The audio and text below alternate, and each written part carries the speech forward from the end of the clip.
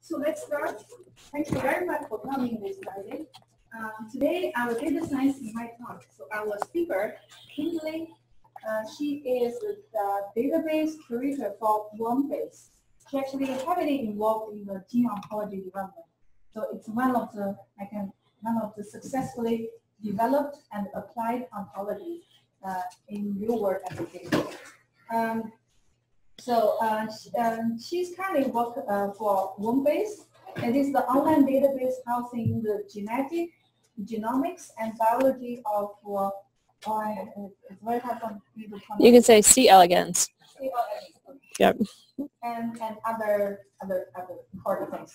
She served as an ontology editor and the co-manager of the annotation of working group for the Gene Ontology Consortium and is a member of editorial board for um, the Journal of Biological Database and Curation.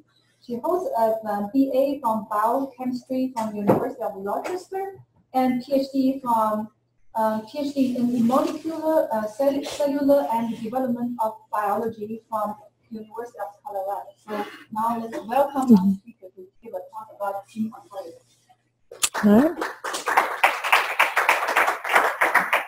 Well, thank you very much uh, for the invitation. This is actually my first visit to Bloomington, and so it's been really lovely. I've enjoyed it very much. Uh, so everybody can hear me okay. Um, so uh, what I want to talk to you uh, about today is uh, mostly about the field of biocuration uh, that I came to um, from being a bench scientist in C. elegans um, through uh, a company uh, that existed for a while called Proteome and then to Wormbase and the Gene Ontology Consortium. And so I've been at Wormbase now for about 14 and a half years and so things have changed a lot from when I started and so I want to give everyone today a sense of the kind of things that we do there uh, and some of the challenges that uh, we face in the biocuration field. So um, as you, many of you uh, certainly appreciate, biology is really the study of living systems. And what we want to help people understand are what are the pieces that make up the puzzle of this living system and how do they function with each other to accomplish a particular biological objective. So early research in biology, when I was a graduate student, um, which was in the 90s, it was mostly limited to interrogating the role of a subset, and I'll say a relatively small subset um, of entities in any given system. So as a graduate student, you might be working on studying and cloning your gene, um, and maybe uh, if you were working on a particular pathway, you might be looking at tens of genes, but that was more typical of what people did. But then with the advent of whole genome sequencing that started to come through in the mid to late 90s, the kinds of experiments that people could do and the kind of questions that could be asked really changed and the scale of that became much, much larger. Um, so now uh, we sort of think that in part, we're living in this biology in the era of omics. So um, there's transcript uh, genomics, the DNA sequence, the transcriptomics, where people um, are looking, surveying the expression of um, RNAs, um, both messenger non-coding RNAs, proteomics, where people are sampling um, the levels and types of proteins expressed in a system, and metabolomics as well. People are starting to look a lot more at uh, the composition and the functions of metabolites in different systems. And we can really ask biological questions on a much larger scale. So this was um, from a recent paper that came out where authors were really interested in understanding, you know, what is the difference in gene expression across uh, different tissues, liver versus stem cells, for example. How does that change as animals age? And how does that relate to things like uh, the circadian um, rhythm as well as respond to environmental changes such as say for example caloric restriction and so you can see that uh, the level at which uh, people are uh, generating data and the number of genes that come from experiments like this has really vastly increased. So how do we make sense of the massive amount of data that gets produced by these omics experiments. And this is really uh, the work that, that I do now. And so in part, this is a classification problem, right? So when you get a list of 2,000 or more genes to look at from your experiment, you know, what are these entities? What are their real functions or role in a biological system? And do we have sufficient language to describe what that role is? And so it was recognized um, probably, you know, 20 years ago or so at least, that the scale of this problem in biology really required a computationally amenable classification system. And so the solution to that was uh, to develop ontologies. So uh, a lot of people in this room probably know uh, about ontologies, um, but uh, just to recap, these are really formal, bioontologies are really formal representations of biological knowledge. So just a key, few of the key features of ontologies. Ontologies, uh, we want to determine um, or model what are uh, specific types or classes uh, these are categories into which real bio, um, biological events or entities fall. Um, in ontologies, there are relationships between these types. So one of the relations uh, is an relation. I'll talk a little bit more about that that refers to um, more or less specific types. So you can categorize subclasses. Uh, one of the relations we also use a lot in Go are is a part of relation so that we can um, make associations between entities and their parts. And then in the ontology, each of these types have certain properties. So for example, um, every ontology term should have a unique identifier, a unique label, creation date, things like that. So the gene ontology um, was first published in 2000 uh, and was largely spearheaded by Michael Ashburner. And so the idea of the gene ontology is that we would be able to use um, a lot of the experimental data that has been generated from studies on model organisms. And when Go first started, it was primarily budding yeast and Drosophila and mice, and C. elegans came along a bit later. But we would be able to use the biology um, and the experiments performed on model organisms, automatically transfer that, hope, hopefully, to um, to knowledge on humans as well as to a number of other uh, non-model organisms for which uh, there might not be um, such an extensive uh, research communities. So what was pointed out in the paper is that you know the main opportunity with something like Go lies in the possibility of automated transfer of biological uh, annotations and the hope was that this could be used to improve human health or agriculture but at the same time, there was a real challenge, and that lies in meeting the requirements for a largely or entirely computational system uh, for transferring these annotations. So in Go, there are three main axes of classifications. So they are molecular function, which refers to the activity or the job you might think of that a gene product uh, executes a cellular component, which is where that activity occurs, and then the biological process, which is a series of molecular functions that combine, like I said, to perform or accomplish a specific biological objective. So if we use an example, say the insulin signaling pathway, and we want to describe the insulin receptor kinase, so its molecular function is that it serves um, to bind insulin and then also has a kinase activity. Its location where that activity occurs is the cellular plasma membrane, and then it's part of the larger biological process or objective of insulin signaling. So what actually constitutes a GO term? So if we take as a simple example uh, this GO term plasma membrane, so as I told you, every GO term has a unique um, identifier. It has a unique name. Um, it has a namespace to tell us which part of the ontology it's from. Um, where applicable, we will try to capture as many uh, relevant synonyms uh, as possible. And these actually, uh, in the ontology, are subdivided into things like exact synonyms, narrow synonyms, broad synonyms.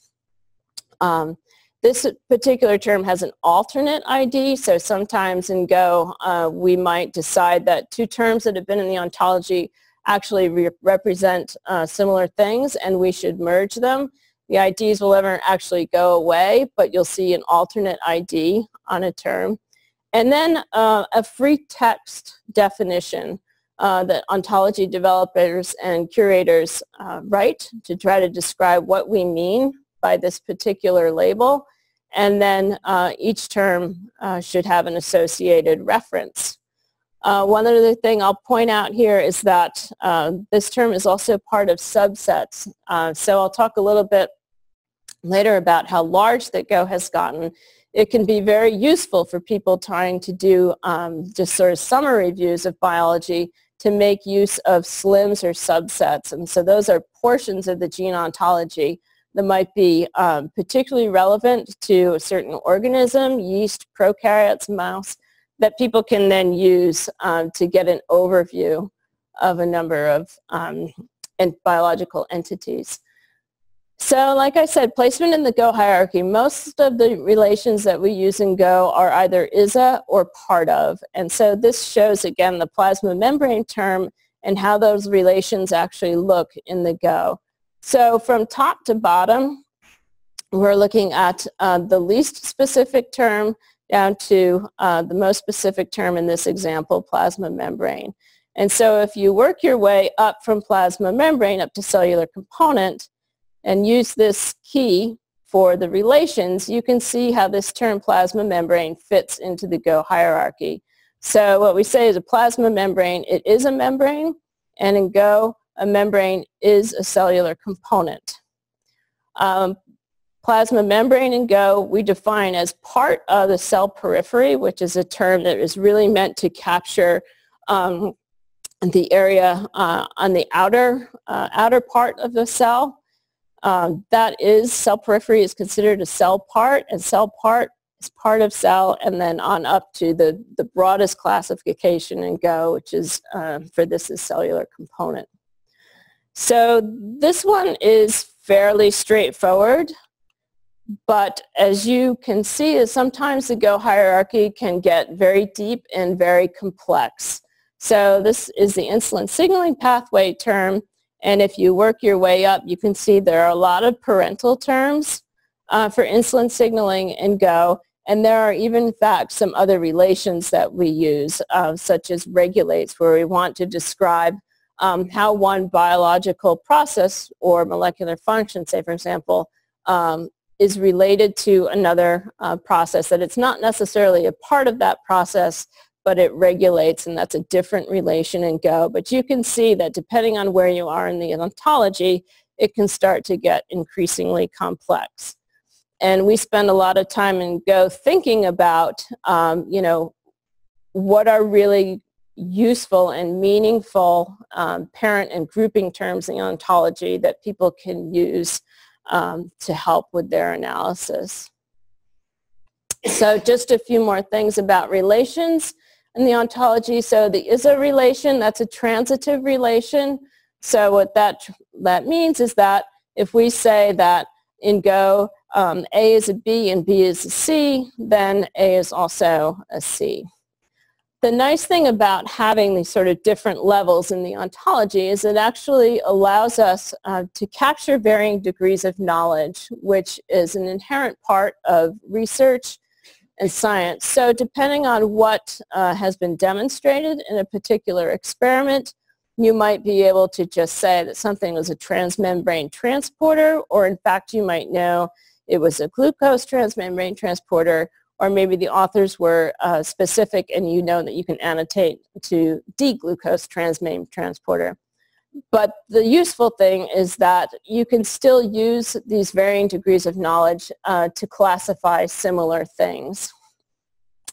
And as I mentioned before, the is-a relation allows us um, to construct these sort of effective uh, slimming for summary views.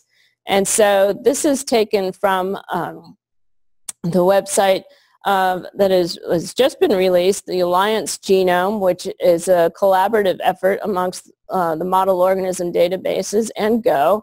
And so this is a view uh, a summary view of Go annotations for the glucose transporter.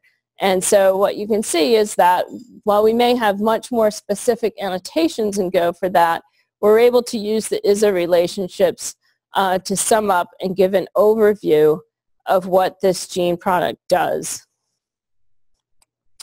So um, like I said, there are a lot of other relations that we use in Go. Part of in particular is one that we use. Um, this describes um, relations between subcellular components. It describes relations between molecular functions and processes. Uh, it is also uh, transitive. Like I mentioned, we also use regulates, but we also uh, qualify regulates. We use both the positively regulates and negatively regulates.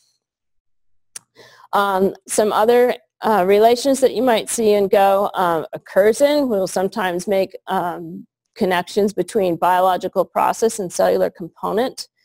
And then these two uh, that we use somewhat capable of and capable of part of, uh, those are relations that we sometimes use between um, protein complexes that are represented currently in the cellular component part of GO. And these are uh, relations between those cellular components uh, and GO biological processes. Mm -hmm.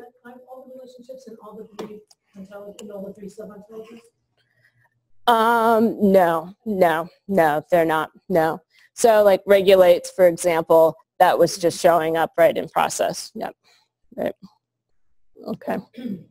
So uh, from its inception uh, in 2000, when the genome, first gene ontology published, paper was published, uh, the gene ontology, as you can see, has grown a lot.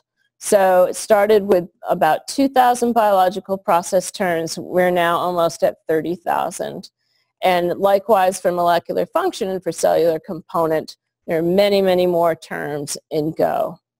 So this becomes then uh, a ch real challenge for us, which is how do we develop and manage the ontology now that it has gotten uh, so big? So there are really two uh, elements of this. There's the human side of doing this, and then there's the tools and software uh, side. So Go is still um, manually constructed. Uh, we get a lot of our term suggestions from biocurators who work at the various model organism databases or other curation projects uh, who are reading papers and suggest to us that there are concepts uh, in the papers they're reading that aren't represented in Go and they would like um, for them to be added. Uh, we also uh, work a lot with domain experts in particular areas of biology. So we will have uh, specific topic meetings where we will sit down, say, and work with uh, people who, for example, might be working on, you know, cardiovascular development, and they would like um, to be able to use Go for their work. So we will work with them to develop the ontology. And then we have a, a small subset of people who are specifically dedicated to doing ontology development. Right now, all of us who do that started out as biocurators. Uh, and then we have a great team of software uh, developers uh, based in, in Berkeley who help uh, coordinate all of these efforts. So on the tools and software side, we use uh, the Protege tool uh, to, to develop the gene ontology. It's available, available in both OBO and OWL file formats. One of the things I'll just touch on briefly is that in terms of managing the ontology, what we are trying to do is move towards having um, design patterns for a lot of these terms. So these are really stereotypical representations of different functions and processes in Go that we can reuse over and over. And that saves uh, a lot of time and effort. Um, you're not having to try to um, continually, uh, say, write new definitions for terms that are actually very similar to something that you already have. Uh, we use primarily the ELK reasoner, and I'll talk a little bit more about how we use that, our development. Everything gets managed uh, in GitHub. So all of our uh, ontology term requests, all of the updates to the ontology, um, the, the error checks, all of that happen as part of um, GitHub repository. And then also in Go, we make use of a lot of other existing ontologies. So for example, the relations ontology uh, that houses uh, the relations that I talked about earlier. We also make use of things like the Uberon anatomy ontology. Uh, that way that when we are generating terms that might refer to an anatomical term, we can make use of an existing ontology to make sure that we actually place that term correctly and go. As well, we make use of the chemical ontology and database ChEBI and uh, the protein ontology, as well as a number of others uh, that I haven't listed here. So this is a snapshot of what it looks like to be uh, editing, the, editing the gene ontology in Protege. So um, this is, uh, you can alternate back and forth uh, in Protege between looking at an inferred view or an asserted view. So in the inferred view that I'm showing here, we're making use um, of all of the, the reasoning that happens with ELK to place terms in the correct uh, is a hierarchy in the Go. And so all of the terms, like I said, have particular annotations associated with them a label, an ID, a namespace, a definition, the references associated with the definition. And down here are something that uh, we're trying to do. Many terms in Go currently have what we call um, an equivalence axiom or logical definition. And this enables us to make use of a lot of these other external ontologies to reason and make sure that we get Go terms placed correctly in the hierarchy so for example, the logical definition for D-glucose transmembrane transporter activity is some transmembrane transporter activity and it transports or maintains the localization of some D-glucose and that would be a ChEBI term. And so what this means is that we can create this logical definition for our terms and as long as what um, and since we mirror ChEBI, part of ChEBI at least, in Go, when we create that term and run the reasoner, it will give us the, make sure that we have all the correct parentage in Go. So if we don't make things, use of things like this, it been, can be uh, quite difficult to manage and make sure you're really getting all the correct parents in the ontology that you should. Okay, so now I want to talk a little bit about uh, Go annotation. So the gene ontology is used to annotate genes and gene products. So what really constitutes a Go annotation? So this is the minimal set of information for a Go annotation. It needs to be an association between a unique database ident entity identifier for a gene or gene product. So in the case of the insulin signaling pathway that we looked at earlier, this might be, say, a UniProt ID for the human insulin receptor. Uh, it has to be associated with a unique identifier for the Go term.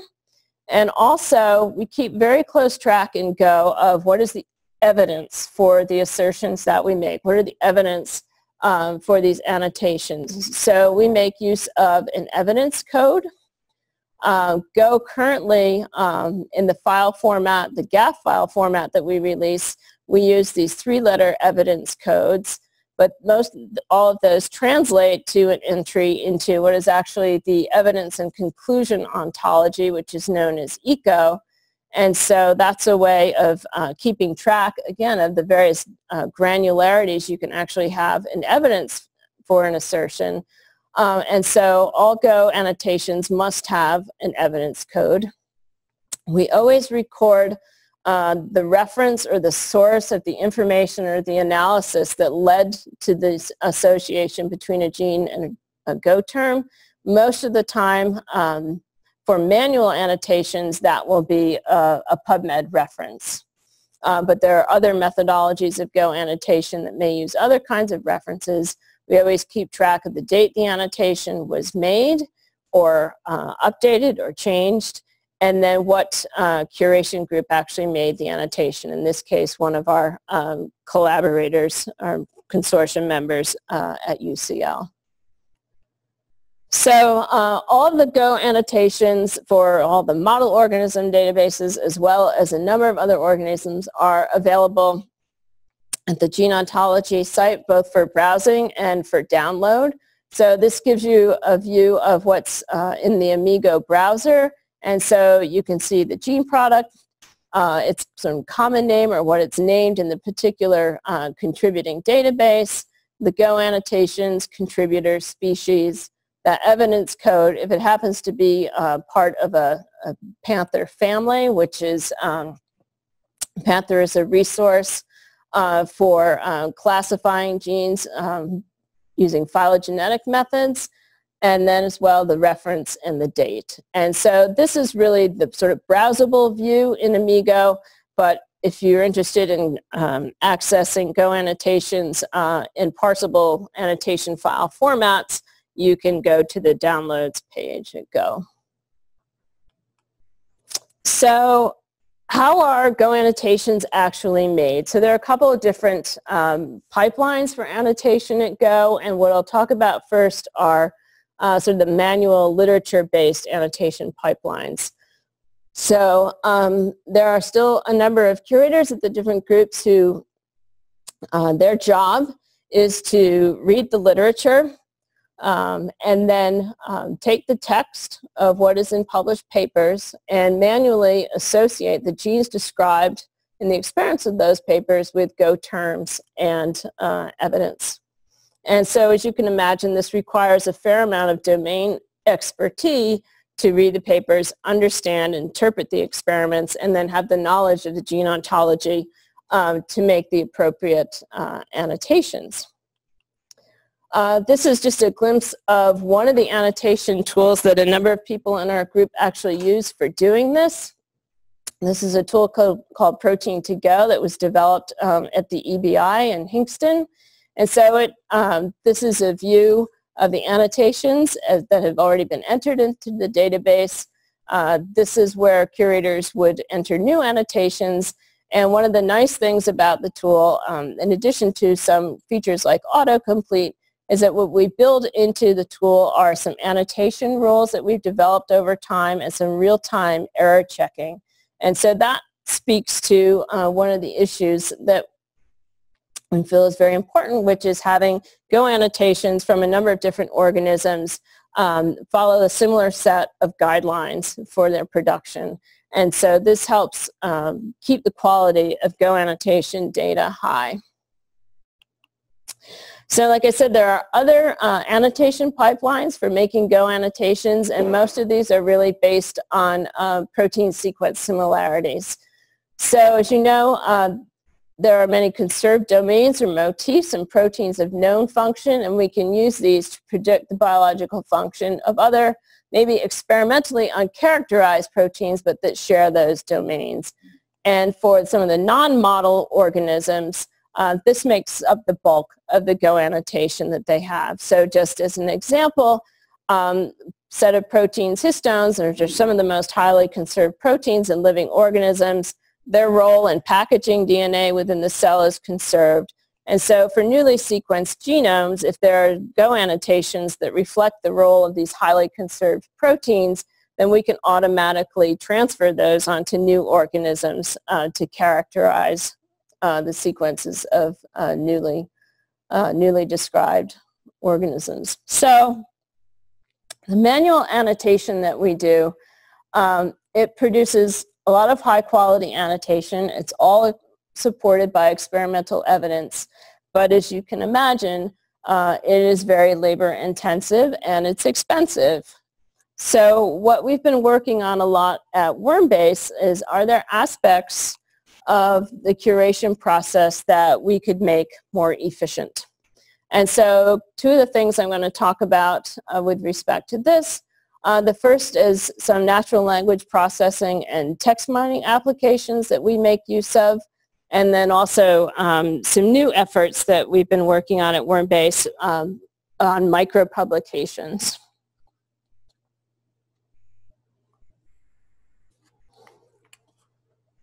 So this was taken um, from a paper that we published a few years ago, but this basically outlines uh, our workflow at Wormbase. So this is color-coded so that the things that happen automatically are in blue. Uh, anything we do that's manual is in pink, and then we have things that we refer to as uh, semi-automated as well. So uh, every day we run an automated query on PubMed using the keyword elegans. And then we get uh, in a curation form uh, the abstracts and the authors and the journal for all of the papers that match that keyword search. And one curator goes through and manually reviews that and decides these papers are relevant for C. elegans or these are not. So that's our first uh, step in paper filtering. The next thing that happens is that we actually um, acquire the full text, usually as PDFs, of all of the papers that we bring in to Wormbase. And so on a yearly basis for us, that's probably somewhere around 1,500 um, PDFs. We also have uh, a pipeline of collaboration with the Genetics Society of America where papers uh, on C. elegans uh, that are being reviewed by genetics also come to Wormbase and we can work with them to um, mark up some of the entities in that text to link out uh, to Wormbase as well.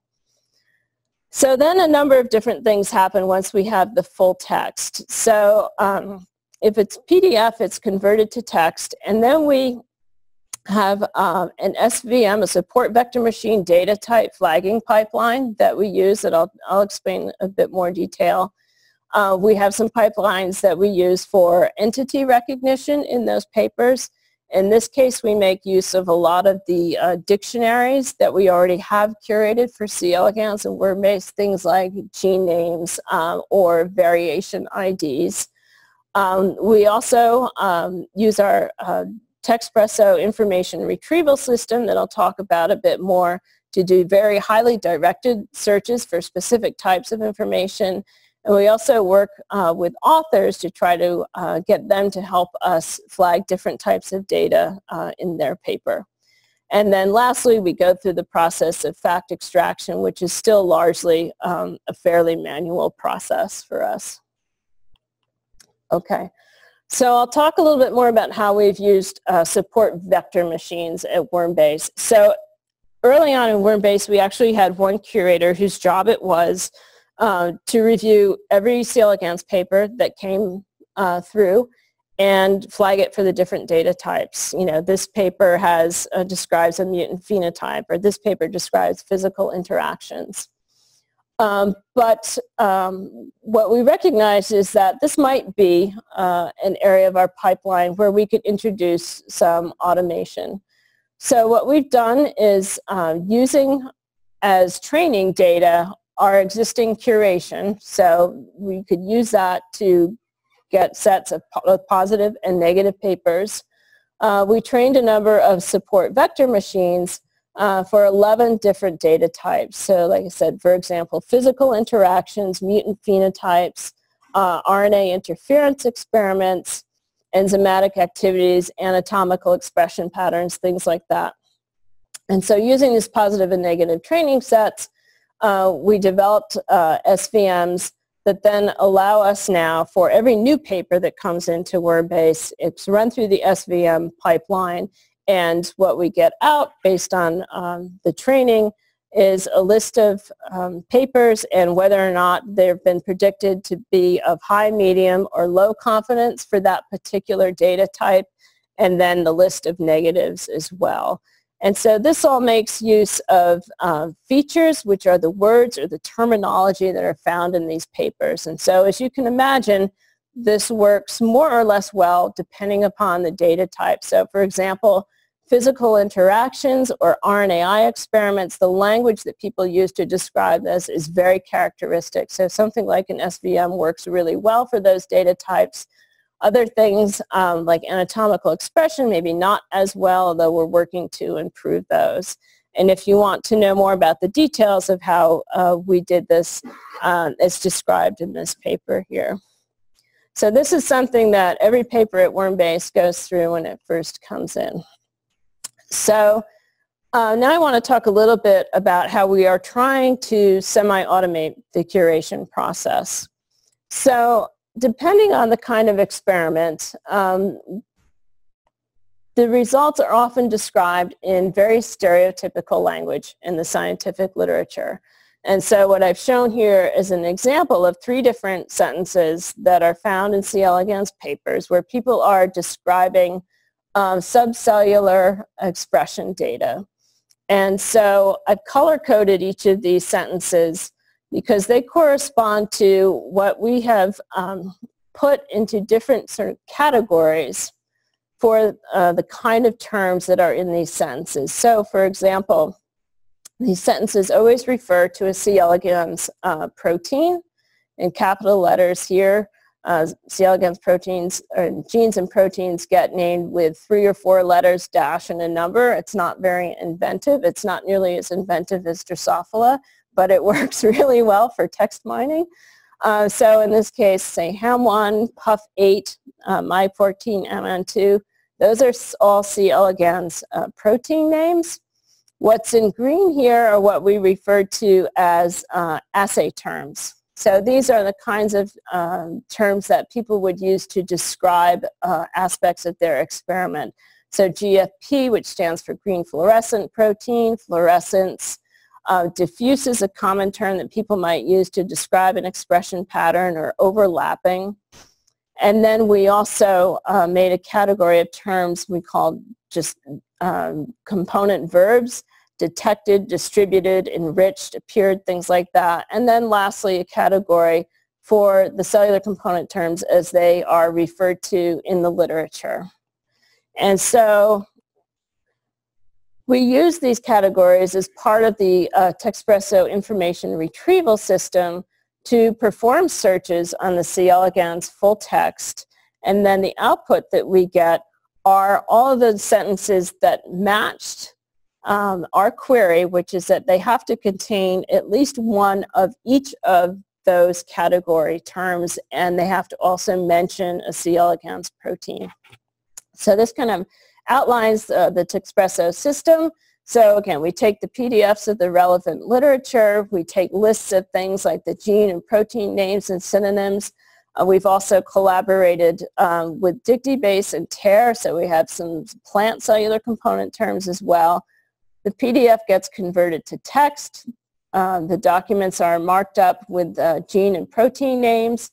The full text is also marked up with these category terms that we created. And then all of that is indexed and put in the Texpresso database. We perform these category searches and then the output is presented to curators uh, for their curation. And so the idea here is that uh, we want to semi-automate our curation. In other words, we want tools like Texpresso, text mining tools, to present curators with sentences from the papers and the curator can say yes or no, this uh, provides curatable data and then put that into the database. Uh, so this, um, we're about uh, to launch a new Texpresso system. So our old system we would just get back a list of sentences, right? And so one of the limitations of that when you just get back a list of sentences is that you're not really seeing those sentences in the context of the full paper. And so you might want to be looking at the figures that match that. You might want to look at a few sentences, you know, before or after that to confirm as a curator that you're making the right association. So to try to address some of those limitations of the original system, We've developed a new system called Texpresso Central. It should be out later this year. And one of the features of that system is you can perform the same kind of category searches on the C. elegans literature, but you can also uh, customize the interface so that if a curator finds a paper that has sentences they think uh, would be suitable for curation, they can then open that um, that paper up in a paper viewer. It has the full text. The sentences are marked up in that. They can customize the kind of curation form that they want with any fields that they feel necessary. And then um, we work with them uh, to develop a data exchange protocol from our Texpresso database to their curation database. And so in theory, um, anyone can do uh, their curation in this tool and send it out to whatever external database uh, they use. So currently uh, the literature in Texpresso is the C. elegans literature and then um, PMC open access. There is also a feature in the tool where um, anyone can upload their own paper set and that can be processed uh, through the, uh, the pipeline and people can do annotation on their own, um, on their own set of papers. And so um, we want to expand on this sort of fact extraction aspect of the pipeline to other data types, uh, namely physical interactions, enzymatic activities, C. elegans disease models, and then we are also using other methods besides this uh, category approach uh, to classify sentences for fact extraction. So uh, one of our phenotype curators has worked um, with our Texpresso developers on using support vector machines on sentences, not just on whole documents. And we've done a little bit of work uh, on using hidden Markov models as well.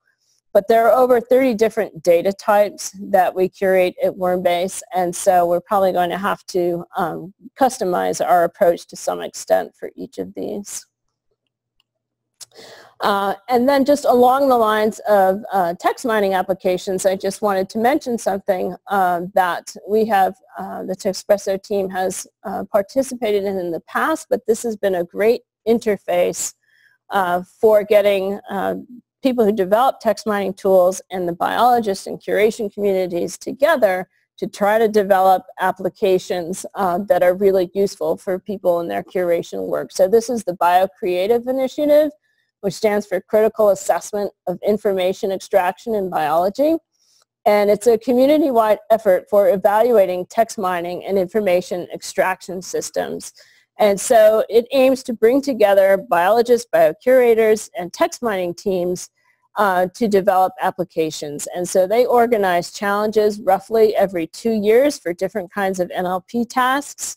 And anyone can participate if you have an idea for um, you know, an NLP approach for those tasks. You can register your team and they will um, they collect uh, gold standard training data uh, for you to that people can make use of uh, and also supply test data uh, so people can test their tools as well. And so if you're interested in learning more about that, that's their website. They just recently had a meeting a few weeks ago. Um, so um, I also wanted to mention a new uh, initiative at Wormbase. And so it, what's clear is that a lot of time and effort and money goes into publishing data in papers and then a lot of time and effort and money goes into trying to get that data back out of papers. And so um, is this really the best model for communicating uh, scientific information? Is it the most efficient way to do that? So one of the things um, that has just recently gotten underway at Wormbase uh, is a new uh, journal called Micropublication Biology. And so the idea behind this journal is that it would be a vehicle for uh, scientists to support generally single experimental results um, the information is submitted to Wormbase in a database-friendly way. And so what that means is that we would like to enforce the use of controlled vocabularies and ontologies to, uh, to capture the data, that there are mandatory fields uh, that people might fill in. Uh, publications are peer reviewed and they're assigned to DOI, so they're citable. And we can then directly incorporate this information into our biological curation database at Wormbase. And the curators and the scientists are then working with each other uh, prior to that information actually being published. So the interaction between uh, the people who generate the data and the people who curate the data happens earlier in that process. So um, submissions through micro publications are published online in this open access journal, which you can um, view here. And this has been the work at Caltech of Paul Sternberg and Daniela Raciti, Tim Schedl, who is at WashU, and other Wormbase uh, team members, Karen Yook and Todd Harris. And so what we're hoping, right now what we have targeted are um, is information in papers where people might um, refer to an observation they made but say data not shown or data unpublished or unpublished observations. We're initially trying to get that kind of data uh, into Wormbase, but the hope, of course, is that we can capture a lot more of uh, the experiments uh, that people are performing in the lab that either might not make it into uh, the larger story of a publication, um, and then the hope, of course, is, is to, to improve on this and capture more of the information in this way so that uh, we can really improve the efficiency at which we're getting information into, uh, into Wormbase. So the last thing I want to talk about is just to kind of come back to talking about biology as, uh, as living systems and that really what the aim of curation is, is to help people understand those systems.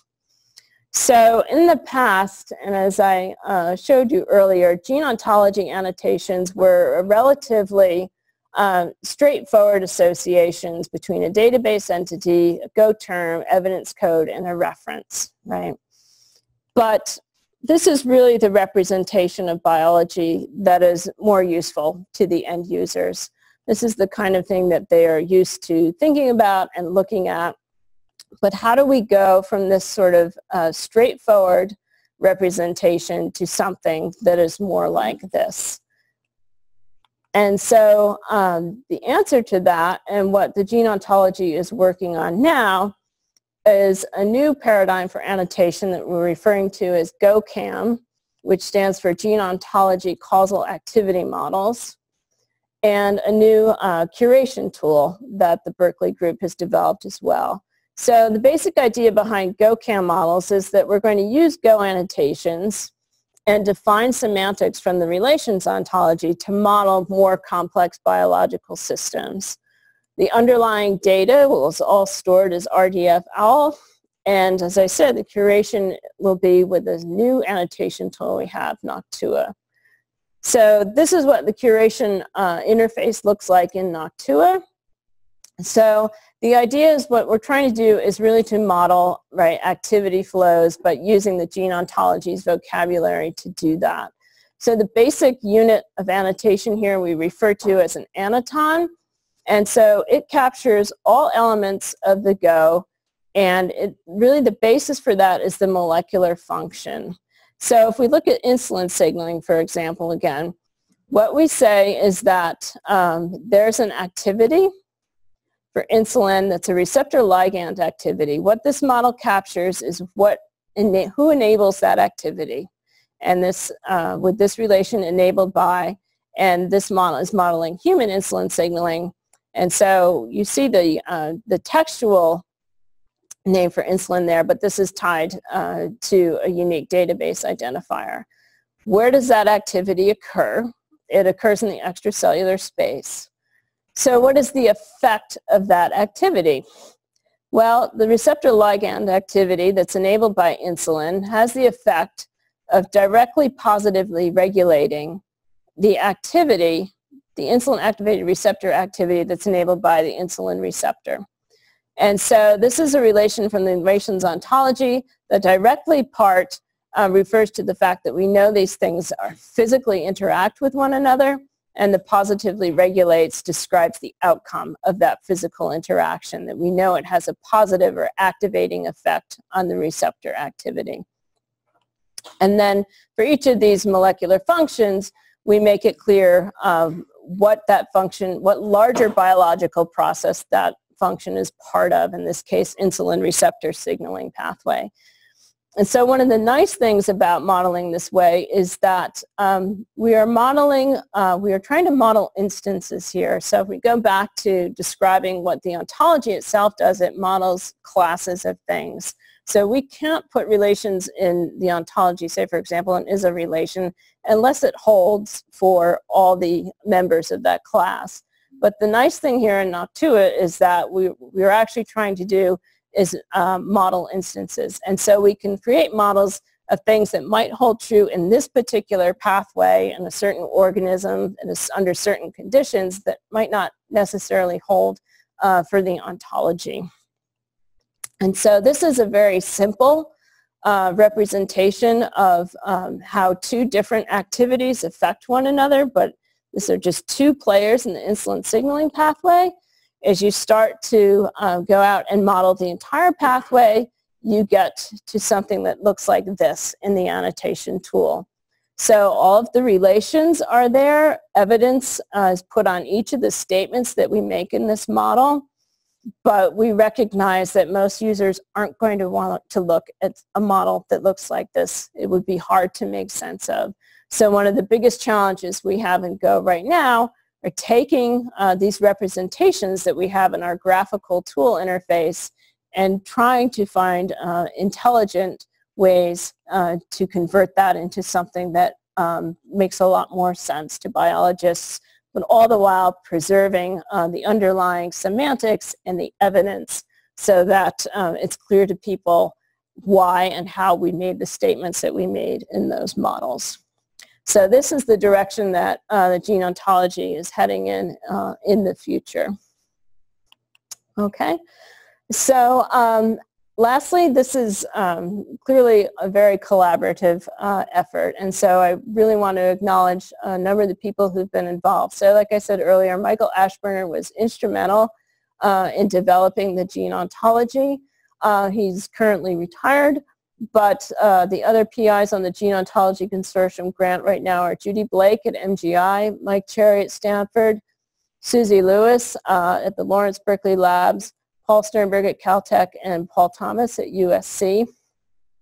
Um, a number of my other colleagues, um, Pascal Gaudet at the SIB in Geneva, David, MGI, YU at USC, and particularly Chris Mungall, uh, Lawrence Berkeley Labs, uh, have contributed um, tremendously uh, to the development of the ontology, to annotation practices. Uh, Seth Carbon is a developer at uh, Lawrence Berkeley who's developed the Noctua um, annotation tool as well as a lot of the features of the Amigo um, web browser. And then there are a number of Go curators from uh, different model organism databases and as well as Uniprot and SwissProt uh, who are really instrumental in keeping the gene ontology annotations and ontology itself up to date. Um, and at Wormbase, uh, Paul Kersey, Lincoln Stein, and Paul Sternberg are PIs on that project. And then a number of, uh, we have a number of curators and developers. We are spread out over Caltech, the EBI in Hinxton, NOICR in Toronto. And then lastly, for their work on Texpresso, Hans-Michael Mueller, Valerio Arnaboldi, and uh, formerly uh, Yuling Li. Okay, so thank you all very much for your attention, and I will be happy to answer any questions.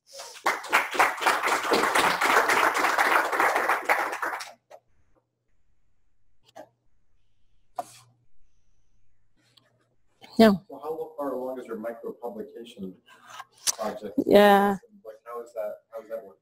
So um, that grant just got funded in early summer. Um, so um, I would say um, each month we're probably getting uh, five to 10 submissions. Um, so we'll see, you know, as how it catches on. Um, but yeah, they just got formally funded uh, for this in June. And I should also mention they're working with the uh, Collaborative Knowledge Foundation um, to try to do this not just for C. elegans, but for other organisms as well. Yeah. Um, so we actually reached out to the C. elegans community to ask people, you know, would you be willing to serve uh, as reviewers? Um, we're also thinking about using uh, Texpresso to help us identify who would be good reviewers, who's done similar work. Um, and so really we just, we just asked people. Yeah for those 29 million PubMed papers, the number's going to go up if we have little tiny papers. Like we'll have little tiny papers, right, right, but um, they will be, right, right, right. Yes. Absolutely, absolutely. So yeah, I didn't touch on that that much, but one of the reasons that say our semi-automated fact extraction actually works is because uh, even though our sentence recall might be low, um, our recall at actually getting the right annotation is reasonable. It's good enough, and it's for exactly that reason. That people repeat themselves in papers. And if you look at scientific papers and like, all right, these are the sentences that actually describe the new experimental result, and that's what we want to put in the databases, you know, it sometimes is a small subset of what's actually in the paper. Yeah, yeah. Can a, can a micro-publication go from micro-publication to database without a curator touch? Um, I think not yet. I think not yet. So that's what I was saying. We still have the dialogue now going between the curators and the submitters. So I don't think we've gotten to that yet. It would be fantastic, right, if at some point we could do that. Yeah. But- Yeah, it would still be peer reviewed, right? But maybe uh, the information that went in, right, wouldn't necessarily have to have a curator do QC or things like that. Right.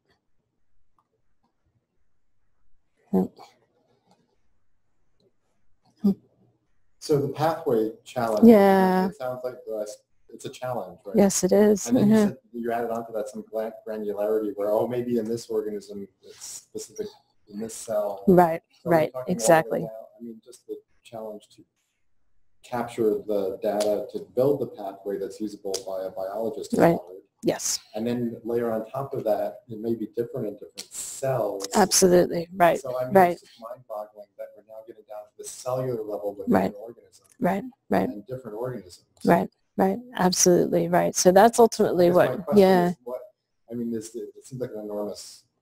It is, it is a big task. So I think one of the things we really want to try to do is make use of, you know, the past 15 years worth of Go annotation that we already have, right? So we're not just starting all over again, right?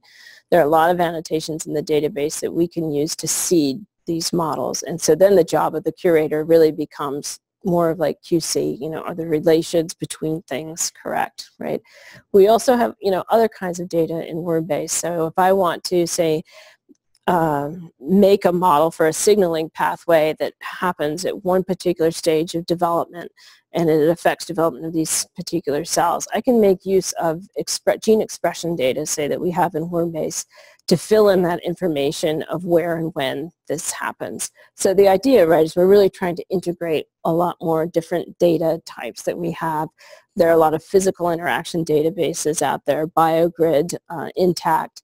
You know, can we make use of the data that they have to inform those relations for those direct interactions? So ultimately, we'd really like to try to pull in as much different um, supporting data that we can and use what we already have. Including single cell RNA sequencing, which is just Right. kind of you see your eyes roll. Because like that Yeah. technology where they can actually sequence the RNA from single cells, Mhm, whole mhm. and then describe it and put it back together. Right, right, right. It's like right. the enormity of that is just hmm hmm coming yeah. down. I guess we don't really know how to deal with that yet, right? Or do- We're learning. Yeah, Uh-huh. we're learning. Yeah. right, right. Yep, yep, yep. Yeah. Okay. Just curious. Yeah. So Go's been since converted completely in an owl, an owl like. No, an owl deal, or No, no, no. So the ontology is, the annotations have not. And so traditionally, right, the the main use for Go has been with gene set enrichment analysis, right? And the input for that are these gene association files. That's not going to change, I think, for quite some time. We really need to get a lot more models in to make that useful for that kind of analysis. Curious about the causal modeling. Have you- Yeah. have you- have you looked at BEL at all? Yeah, yeah, yep, yeah, yeah, yep. be a good one. Yep. Yes. Yeah. Yeah. So the BEL Group has actually um, participated uh, in some of the biocreative challenges. So that's where um, I have learned about that, right? And the kinds of things that they're trying to do are similar. Yeah. Yeah. Yep. All right. Well, thanks very much.